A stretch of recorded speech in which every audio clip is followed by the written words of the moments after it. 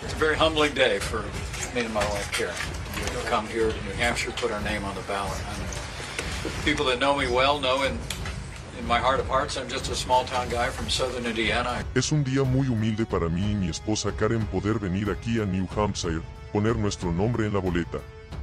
La gente que me conoce bien sabe que en el fondo de mi corazón soy solo un tipo de pueblo pequeño del sur de Indiana. Crecí con un campo de maíz en mi patio trasero en algún lugar del camino en la calle 31. Tuve el sueño de servir a mi ciudad natal en el Congreso de los Estados Unidos. Me tomó un tiempo llegar allí. El año 40 me convertí en miembro del Congreso, serví allí durante 12 años. Nunca imaginé que podría ser gobernador del estado que amo, y mucho menos tener la oportunidad de servir como vicepresidente de los Estados Unidos. Y ahora estar sentado entre todos ustedes, buenas personas, poniendo nuestro nombre en la boleta para la nominación republicana al cargo más alto del país. Así que hoy venimos agradecidos a nuestra familia, venimos hoy agradecidos a la gente del Estado y la nación que nos han apoyado y agradecidos a Dios por su gracia en todo el camino pero me postulo para presidente porque creo que este país tiene muchos problemas. Francamente, creo que el presidente Joe Biden ha debilitado a Estados Unidos en el país y en el extranjero. Y en los horribles acontecimientos que se han desarrollado en los últimos días, se ha hecho más evidente que la debilidad de esta administración en el escenario mundial ha envalentonado a los enemigos de la libertad. Es un momento serio. Creo que se necesita un liderazgo serio. Estamos ante ustedes hoy simplemente porque creo que soy el más calificado, el más experimentado y el más probado conservador en esta carrera. Y creo que con los acontecimientos que se desarrollan en el escenario mundial, con las dificultades que enfrentan las familias estadounidenses por la inflación récord de los últimos dos años y medio, una crisis de proporciones sin precedentes en nuestra frontera sur, el aumento de los costos de energía, una ola de crímenes en nuestras ciudades. El pueblo estadounidense quiere ver un liderazgo que pueda unir a nuestra nación y resolver estos problemas y enfrentar este momento. Y creo que soy ese hombre. Y así vamos a trabajar con todo nuestro corazón en los días venideros para seguir ganando el apoyo del pueblo estadounidense. Sé que es una subida cuesta arriba por muchas razones para nosotros, algunas que entiendo, otras que no. Pero es un país libre y solo espero que la gente nos conozca.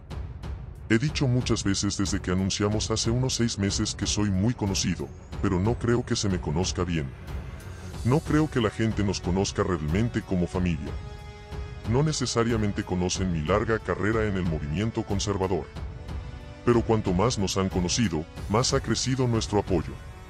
Y creo de verdad que los tiempos exigen un liderazgo diferente en el Partido Republicano y ciertamente un liderazgo diferente en la Casa Blanca pero va a ser un liderazgo que se base en una agenda y unos valores atemporales que siempre han hecho que nuestro país sea fuerte, seguro, próspero y libre.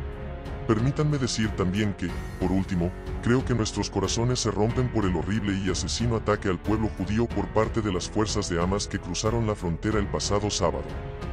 Creo que es importante que los líderes de todo el espectro político hablen con una sola voz de que Estados Unidos está con Israel. Durante toda mi carrera en el Congreso, mis años como gobernador, mis años como vicepresidente de los Estados Unidos, he sido un defensor de la relación estadounidense con Israel. Israel es nuestro más querido, quiero decir, literalmente amor por Israel. La aspiración de ver al pueblo judío regresar a su histórica patria resuena desde la fundación de Estados Unidos.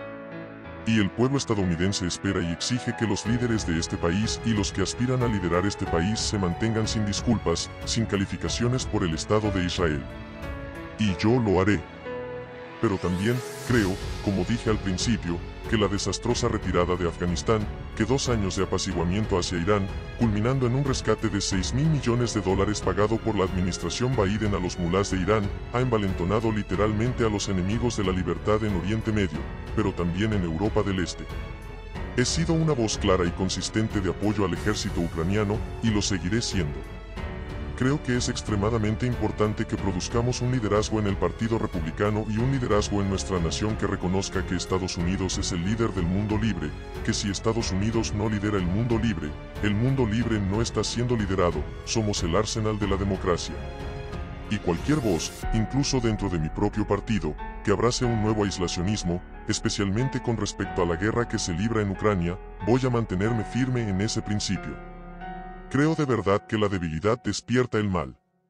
Y si Estados Unidos sigue enviando un mensaje de debilidad o retirada en el escenario mundial, francamente, el resto del siglo XXI podría parecerse mucho más a la primera mitad del siglo XX. Este es un momento para la fuerza estadounidense. Voy a seguir siendo una voz fuerte para proporcionar apoyo a Israel para que haga lo que tenga que hacer para aplastar a Hamas en Gaza. Pero también voy a ser una voz igualmente fuerte en mi apoyo a la ayuda militar estadounidense a Ucrania hasta que luchen y repelan y derroten esa inconcebible invasión rusa. Con esto, de nuevo, permítanme simplemente cerrar diciendo que les agradezco a todos que hayan venido. Gracias por el interés. Agradezco especialmente a los amigos, el senador Kerry Gendro, el senador Tim Lang, que están con nosotros hoy. Su apoyo, su aliento aquí en New Hampshire significa mucho para nosotros.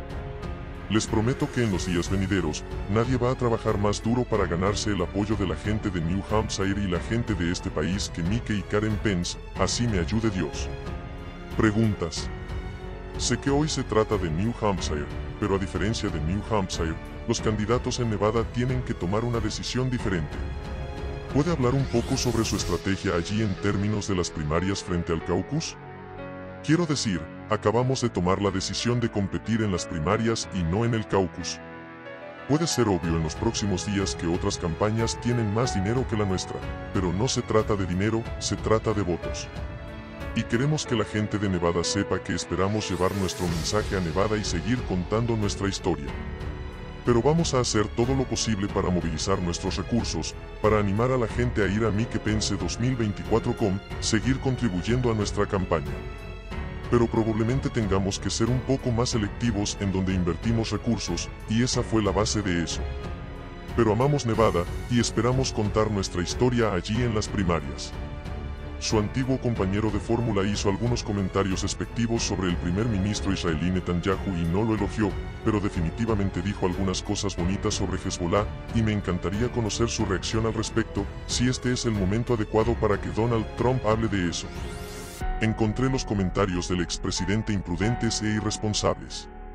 Los líderes de este país deberían enviar un mensaje distinto al de que Estados Unidos está con Israel.